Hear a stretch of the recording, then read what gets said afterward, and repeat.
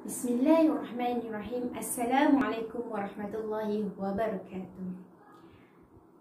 Terlebih dahulu saya ingin memperkenalkan diri saya. Saya adalah Cikgu Ain uh, yang uh, merupakan uh, guru yang akan uh, menerangkan dan juga akan berkongsi ilmu mengenai uh, modul MASH 2020 Sains bagi tingkatan 3. Baiklah.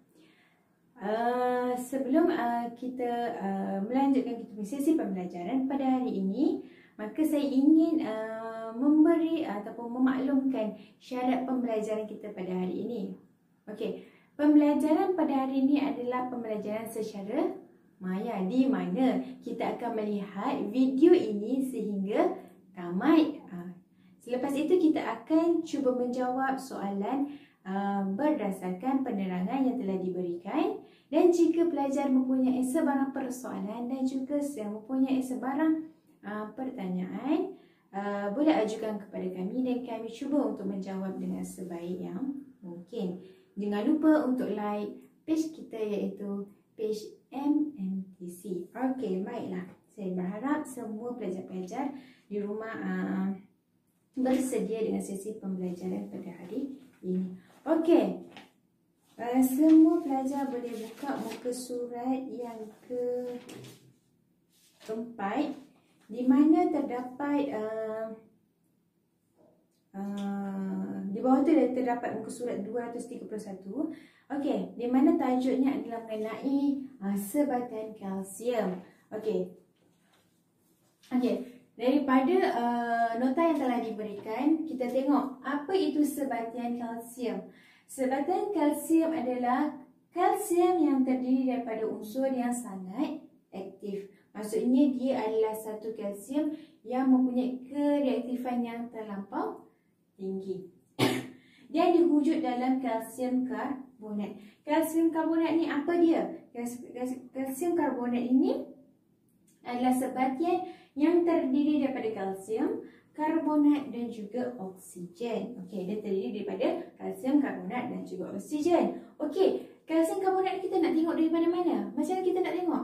Kita dapat lihat daripada segi daripada uh, kejadian batu karang, daripada batu kapur, cengkerang, uh, kalsium tu.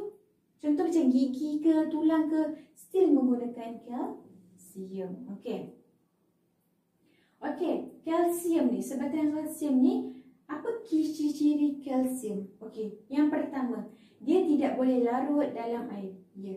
Kalsium ni dia tidak boleh larut dalam air dan tidak bertindak balas dengan asid. Okey, dia tidak dia tidak balas dengan mana-mana asid. Seterusnya, kalsium ni jenis terurai di mana ia terdiri daripada kalsium oksida dan juga karbon dioksida. Okey.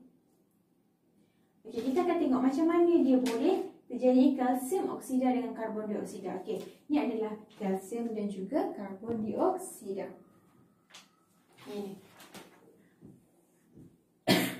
Okey, yang pertama kalsium karbonat. Okey, kalsium karbonat apa dipanas? Apabila dipanaskan, dia akan menjadi kalsium oksida dan menjadi dengan uh, akan terjadi dengan karbon dioksida oksida. Maksudnya gabungan antara kedua-dua ini dia menghasilkan kalsium karbonat. Selepas itu, kalsium oksida, kalsium oksida ni macam mana nak wujudkan dia? Wujudkan dengan apabila kalsium oksida ni ditambah dengan air dan menjadi kalsium hidroksida.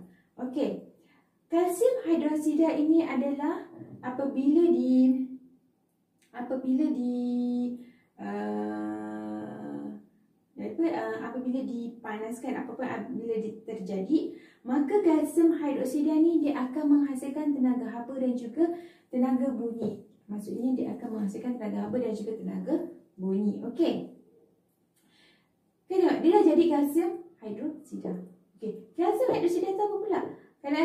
Kalsium hidroksida itu adalah merupakan serbuk putih. Dia akan berbentuk serbuk putih. Dalam serbuk putih itu apa benda? Iaitu kalsium, oksigen dan juga hidrogen. Okey, tiga benda ni yang ada dalam kalsium hidroksida. Okey, kalsium hidroksida ni dia larut dalam air iaitu larut larutan kalsium hidroksida ni adalah contoh sebagai apa?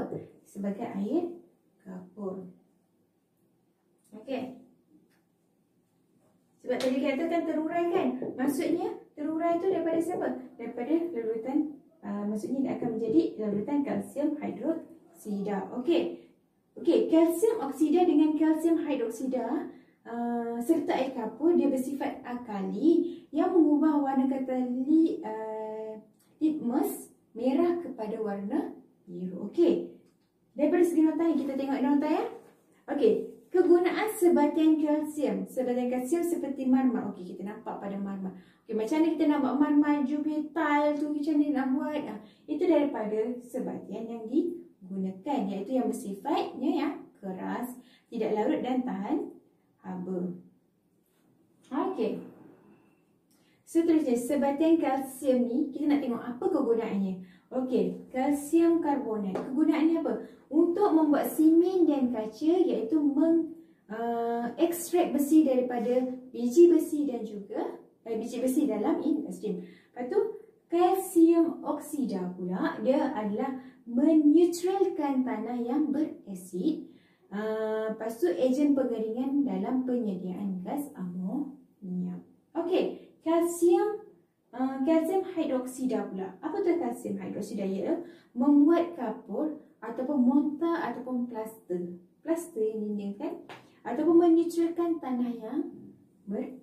Okey, selain itu larutan kalsium hidroksida ni. Ha, larutan air tu, air kapur tu apa dia? Menguji kehadiran karbon dioksida iaitu merawat pembakaran kulit oleh asid. Okey. Ini adalah kegunaan sebatian kalsium. Baiklah. Hmm, seterusnya kita akan masuk mengenai sumber bahan api semula jadi dan pe dan kepentingannya.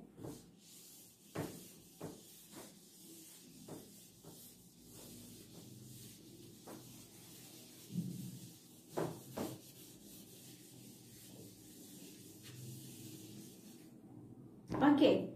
Sumber bahan api semula jadi yang digunakan oleh manusia adalah petroleum, gas algi, arang batu dan kayu kayu. Sumber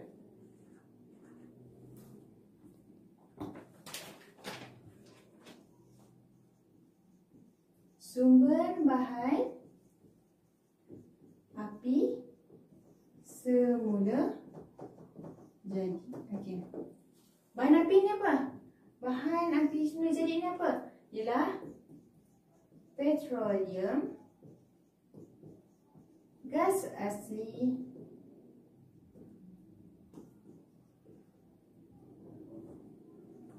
arang, batu dan kayu kain. Okey. So pembentukan bahan api fosil yang kita tengok pertama adalah sisa-sisa tumbuhan dan Haiwan yang mati dan tertanam di dasar lautan telah membentuk bahan api fosil. Okey. Lepas tu haiwan dan tumbuhan yang mati tertimbus dalam lapisan lumpur dan pasir di dasar laut. Serta suhu dan tekanan yang tinggi telah mengubah sisa haiwan-haiwan tumbuhan. Arang batu terbentuk dari sisa tumbuhan yang mati yang tertimbus dalam lumpur. Iaitu proses pembentukan arang batu mengambil masa berjuta-juta tahun daripada sisa tumbuhan daripada sisa hayu apa haiwan yang mati tu dia tertanam ke dasar laut bila dia tanam ke dasar laut tu dia akan bentuk bahan api fosil. Kat situlah dia akan terbentuk macam mana? Dia terbentuk lapisan lumpur dia akan menjadi um, apa uh, bila tekan dengan suhu tu tinggi dia akan membuat lapisan lumpur tu um, daripada pasir-pasir uh, untuk menjadi batu batuan. Okey. Seterusnya penyulingan. Okey, penyulingan. Berperingkat. Iaitu petroleum petroleum mentah berwarna hitam dan merupakan cecair pekat. Dia warna hitam petroleum.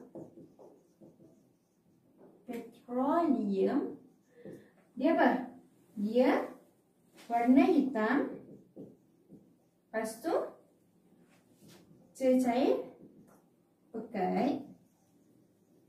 Pasal apa? yang terdiri daripada campuran pelbagai jenis hidro hidrokarbon. Okey. Penyulingan berperingkat adalah satu proses di mana petroleum itu dipanaskan. Maksud dia berperingkat peringkat. Setiap bahagian hidrokarbon dia kena dikenalkan sebagai pecahan. Hidrokarbon punya takat didih yang rendah. Okey. Apa hidrokarbon? Hmm.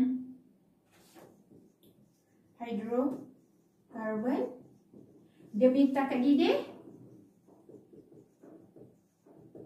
adalah rendah. Okey, semua pecahan tidak larut dalam air. Pecahan yang baru ni dia tidak akan uh, larutlah dan uh, mudah terbakar. Tidak larut dalam air tapi dia mudah terbakar. Pecahan yang diperolehi daripada penyulingan berperingkat perlu dirawat sebelum dihantar kepada pengguna.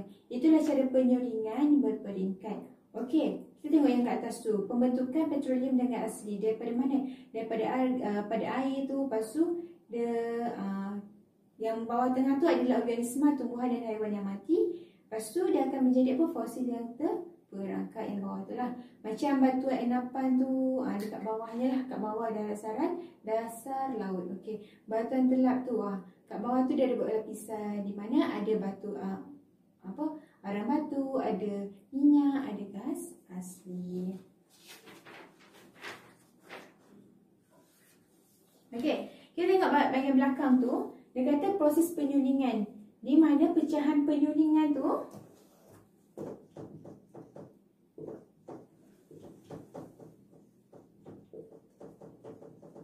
Pecahan penyulingan tu dia terbagi kepada apa? 2, 4, 6, 8 iaitu gas petroleum, petrol, nafta, kerosin, diesel, minyak pelincir, minyak bahan api iaitu bitumen. Okey, apa itu gas uh, petroleum? Penggunaannya adalah seperti gas memasak. Okey, petrol adalah bahan api untuk kereta dan motosikal. Okey, nafta apa uh, kegunaannya adalah untuk membuat uh, pelarut dan juga racun perosak. Lepas tu kerosin tu adalah bahan api untuk kapal terbang. Diesel pula bahan api untuk enjin diesel seperti lori dan juga bas. Lepas tu minyak pelincir. Minyak pelincir tu untuk mesin ataupun enjin kereta lah. Okey, minyak uh, bahan api tu bahan api untuk kapal dan juga kilang. Lepas tu bitumen adalah bahan yang menurak permukaan jalan. Bitumen tu yang uh, jalan yang tar tu lah yang kita nak buat. Okey, kegunaan secara cekap sumber bahan api semula jadi adalah petroleum, gas asli dan batu arang. Mereka tadi ni uh, adalah uh, sumber bahan api yang tidak boleh diperbaharui dan juga adalah terhad. Dia tidak boleh diperbarui. Ya? Sumber bahan api ni tidak yang ini petroleum dan salji arang batu uh, kaya-kaya ni dia tidak boleh diperbaharui dan dia adalah terhad. Ni satu dua tiga ni adalah terhad. Kita mesti pastikan bahawa sumber-sumber ini digunakan dengan cekat supaya tidak digunakan selama yang mungkin. Maksudnya uh, supaya kita ialah kita kena menggunakan secara berhati-hati dan juga berhemah supaya pada masa akan datang benda tu sentiasa keep on. Maksudnya setiap ada, setiap masa akan ada. Lepas tu kita juga perlu memastikan bahawa sumber-sumber ini tidak dibazirkan. Sumber-sumber ini tidak dibazirkan ialah kita tak naklah benda ni dah lah susah nak dapat benda ni, susah nak kita nak cari kan. Sampai orang nak kena pergi dasar laut, nak kena ambil sumber. Jadi kita tak nak berlaku membaziran, kita kena guna secara berhemah. Okey, berapa cara yang menjimatkan sumber api? Yang pertama, Okey, kita menggunakan mental untuk menjimatkan tenaga. Lepas tu, kita menggunakan kenderaan untuk menjimatkan bahan api. Lepas tu, kita menggalak apa? Kita perlu menggalakkan perkongsian kereta. Kita awak yang naik-naik dengan kenderaan awam. Maksud kita menjimatkan daripada segi apa tu? Daripada uh, apa? Petrol tu sendirilah. Daripada petroleum tu supaya kita dapat mengurangkan penggunaan uh, bahan uh, bahan sumber api itulah. Lepas tu kita semula. Okey. Baik kita semula. Lepas tu kita boleh menggunakan sumber tenaga yang boleh diperoleh. Uh, seperti tenaga suria. Ya. Tenaga suria kita boleh digunakan. Okey. Uh, contohnya bagi apa? Contohnya kita nak pasang lampu ke tenaga suria. Um, ia membantu untuk mengurangkan penggunaan bahan api. Okey. Uh, baiklah itu kita dah cover tentang sebatang kalsium dan juga sumber bahan api uh, bahan api semula jadi uh, tamat sahaja itu uh, mengenai uh, topik tingkatan tiga bagi subjek uh, tingkatan tiga lah. Uh, jika ada persoalan dan pertanyaan bolehlah ajukan kepada kami supaya kami dapat menjawab dengan uh, sebaik mungkin. Wabillahi taufiq wa hidayah. Wassalamualaikum warahmatullahi wabarakatuh.